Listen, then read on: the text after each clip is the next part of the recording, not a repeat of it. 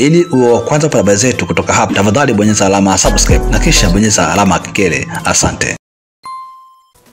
Uh, nafikiri kwenye kupambana wachezaji wa Dodoma walipambana, lakini kwenye kufanya makosa bado walikuwa wanafanya makosa mengi sana, haswa first half kabla Simba hawajapata goli. Uh, Simba walikuwa wanaonekana kuna pressure fulani ambayo wanaiapply kwenye kikosi cha Dodoma, na Dodoma walikuwa wanapoteza mipira mingi sana kwenye maeneo yao hatari. Walikuwa hawana uh, ufanisi wa kutosha pindi ambapo walikuwa wanajaribu kujenga mashambulizi yao kuna mipira mingi sana ambayo walikuwa wanaipoteza, walikuwa hawafiki mbele vizuri, japokuwa kuna moment moja moja uh, kwa upande wa Dodoma walikuwa wanafika kwenye goli la Simba hadi kuwafanya Simba labda kuingia kwenye sehemu ya hatari. Ni hivyo tu, labda bahati na ubora wa wachezaji wao wa mbele ulikosekana, lakini kuna moment ambazo walikuwa wanafika vizuri, na haswa ukiangalia jinsi ambavyo Simba wanacheza chini ya Robertinho wana komiti wachezaji wengi sana kwenye eneo la mpinzani mm. Uh, wana washambuliaji wawili then wana mawinga wawili, mmoja asili yake ni namba kumi Saidoni kama anaingia hivi ndani, then wanategemea mafulbek wao wawili kuwapa upana kwenye uwanja, mhamed pamoja na Shomari. Uh, wachezaji ambao wanabaki nyuma mara nyingi ni defenders wawili tu, labda na kiungo mmoja mkabaji. Yeah. Sasa kunakuwa kuna space nyingi uh, kwa timu pinzani za pembeni mwa uwanja ambazo kama wanazitumia vizuri wanaweza wakawaadhibu Simba. Na jana bahati nzuri Dodoma alikuwa na washambuliaji wawili, alikuwepo Mwaterema pamoja na Opare. Kwa hiyo kulikuwa- kulikuwa na nafasi nyingi sana pembezeni mwa uwanja ambazo walikuwa wanazipata. Uh, nafikiri mmoja Mwaterema alibaki yeye tu na Aishi akaupiga mpira vibaya akamlenga kabisa Aishi, lakini kama wangekuwa na ufanisi kiasi fulani walikaribia kupata goli, lakini uh, sijaona ule ubora wa moja kwa moja ambao walikuwa nao Dodoma. Ni hivyo tu, walikuwa tayari wanapambana na nini, lakini mistake bado kwao zilikuwa za kutosha sana. ile uh, Jean Beleke uh, Baleke amefunga goli la kwanza katika mm. mchezo wa kwanza debut. Mm. Unaanza unafunga, hakuna kitu kizuri kama hicho. Hakuna jambo ambalo mshambuliaji anataka kulifanya kama kufunga siku yake ya kwanza, anaanza kibarua, Unatoa uzito. unatoa uzito mkubwa sana lakini pia nafikiri itakuwa ni ilikuwa ni, ni fursa sahihi ya wewe kuangalia namna ambavyo wanalifunga goli lile. Kuna aina ya Yeah. washambuliaji ambao wanatamani kufunga, kulikuwa unaona matamanio Nafikiri ame, amecheza na misingi ya, ya mchezaji ukiwa unafundishwa tangu ukiwa mdogo. Wanasema cheza na, na filimbi, play to the whistle, yani mpaka, mpaka usikie refali amepuliza filimbi, basi ndo anatakiwa ustop, lakini cheza mpaka mwisho.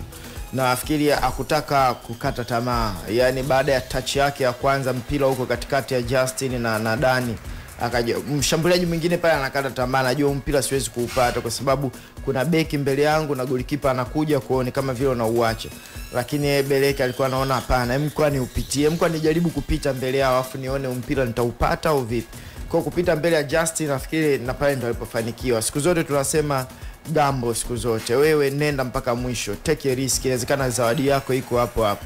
Kwa credit kwa kwa, kwa, kwa Jean, lakini kwangu mimi nafikiri kwa Justin siku zote tunasema clear the ball ya, yani goalkeeper akiwa anakuja si, of course watakiwa umwamini mchezaji mwenzako Yes. mwamini goalkeeper, lakini ukishakuwa defender clear the ball kwanza yani uondoe kwanza mpira alafu baadaye mtaanza kujadiliana wewe na Daniel Mgore kwamba ah, pale ungenyachia pale vipi, ndo majadiliano yataendelea baadaye Yes. lakini kwanza clear the ball. Unavyokuwa una gadi hivi na mtu anakuja nyuma yako, sio salama sana Yeah. nafikiri unaweza ukajaribu kufanya hivyo labda ukiwa una gadi mpira wa kurushwa unaenda nje ama inakwenda kuwa goal kick.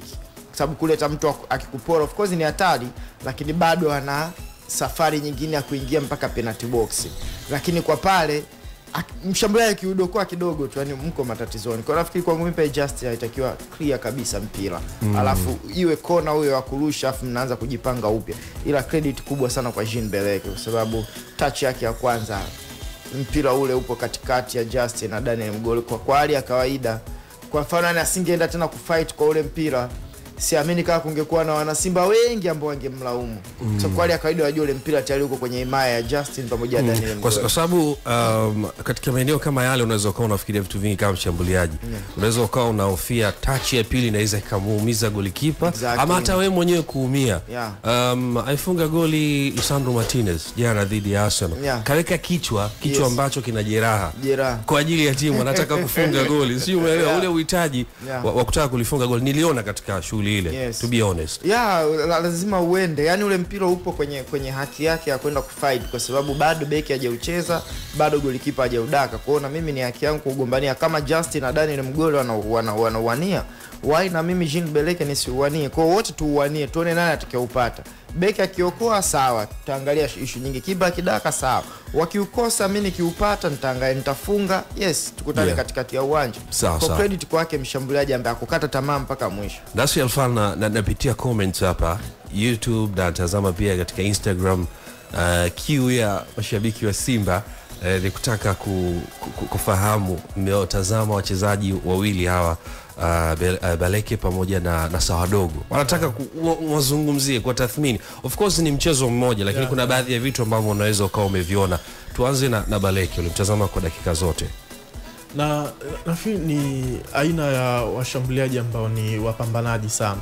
Na hata taifa ambalo wanatokea Kongo uh, wana wachezaji ambao wapo powerful sana, sio mshambuliaji yule ambaye ataishi sana tu kwenye penalty area. Jana Simba walikuwa hawatengenezi sana nafasi, kwa hiyo kuna muda hata alikuwa analazimika kutoka kabisa nje ya penalty area, na nafikiri kwa mtu ambaye labda hajapata muda sana wa kumwangalia, akiangalia tu aina ya goli ambalo atakuwa amefunga atakuwa anapata picha ya asili ya Beleke ni mchezaji wa namna gani.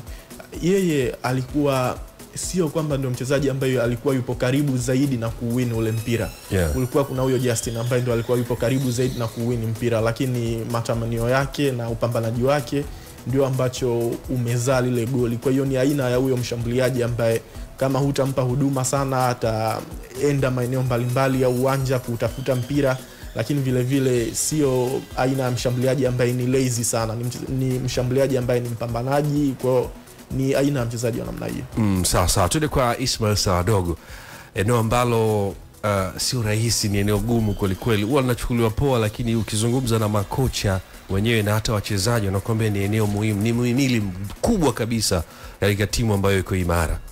ya, na nafikiri Beleke kwangu imekuwa rahisi kutoa tafsiri ya aina ya uchezaji wake, lakini kwa Ismail pengine nitahitaji time na time, lakini kwa kitu ambacho nimekiona jana haswa ukijua kwamba jana alikuwa anacheza na Erasto. Erasto Yes. alikuwa anaonekana kama yeye ndo ana stick kabisa, ni alikuwa ni natural number 6 alafu Ismail ni kama alikuwa anapewa uhuru wa kuja kuisaidia timu kuzuia, lakini kama kuna time timu inapanda juu na yeye apande kwa alikuwa anacheza kama box to box, aathiri maboksi yote mawili. Kuna muda alikuwa anaenda mbele anarudi nyuma, lakini timing yake ya uporaji wa mpira nimeiona kuwa ni nzuri tu, anapora mipira vizuri.